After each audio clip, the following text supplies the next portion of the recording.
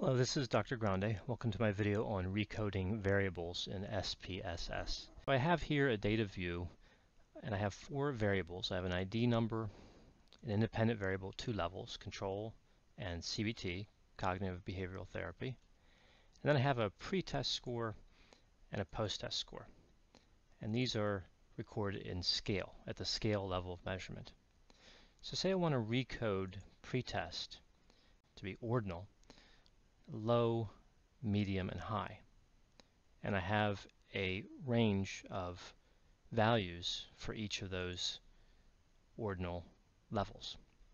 So go to uh, transform.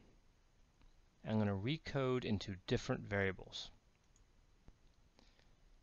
I'm going to move pretest over into this list box and I'm going to name the new variable PT ordinal. And then the label I'll make uh, the same, pt underscore ordinal. So you're going to select change or click change here. So you can see pretest into pt ordinal. And then I go down here, it says old and new values. And from the first value, I want the lowest possible value. So it's range lowest through value. That's what I'm selecting. And I want it to go up to, let's say, 37. And I want that value to be low. So then I'm going to move over here. I'm going to change the output variables uh, to strings. Make that notation. And then in the new value, I'm just going to type low. So all of the values from the lowest value in the pretest variable up to 37 will now be recategorized as low. So I'm going to add that. And now I'm going to create a range. And let's say we'll go from 38 to, let's say, 44. Again, output variables are strings. I'm going to call this one medium. Remember to click add. So now we have lowest through 37 will convert to low, 34 or 38 rather through 44 will be medium, and then we can do range value through highest. So it'll be 45 to the highest value.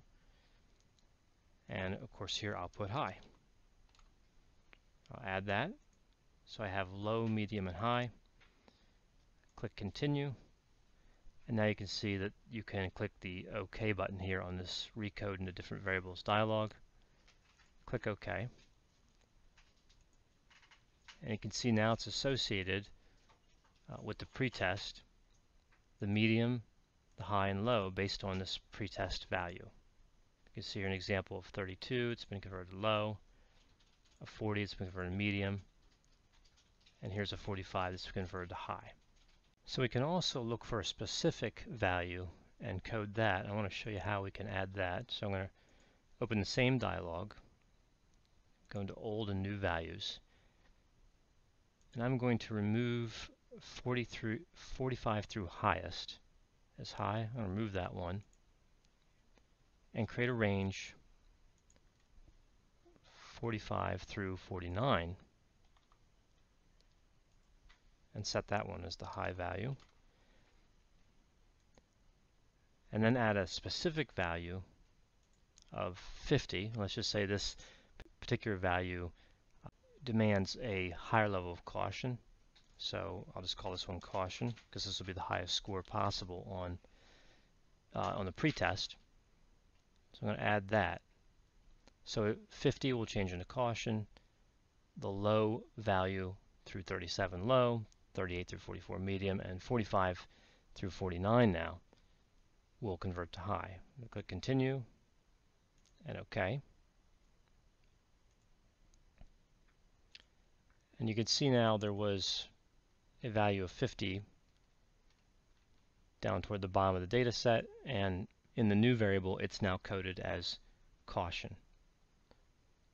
So that those are the options you have from the uh, transform and recode into different variables uh, other than the uh, missing variables. Uh, you have the range, lowest to the value, uh, value through the highest, and then a specified value. You can also select all other values as well. But this uh, feature in SPSS is an efficient way to create a new variable and move it, in this case, uh, from scale to uh, ordinal. It's important to note that you don't have to convert uh, a value or a range of values into an ordinal variable, as I did here. You could also convert it into another scale level measurement. Uh, for example, you could take the value of 50 and you could recode that. And you would you would unclick the um, output variables or strings and you, recode that to say 55 you know, so you can you can move from scale to scale and similarly you could do the same thing with uh, range.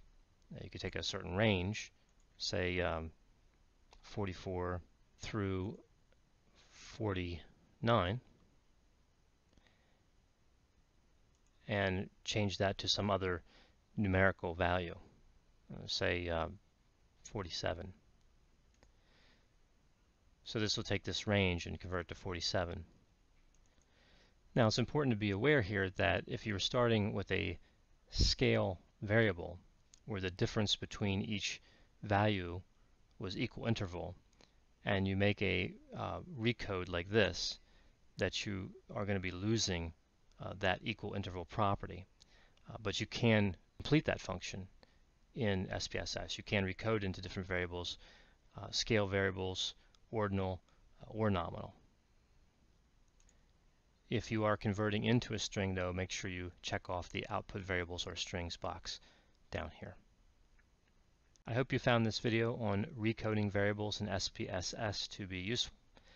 As always, if you have any questions or concerns, feel free to contact me and I'll be happy to assist you.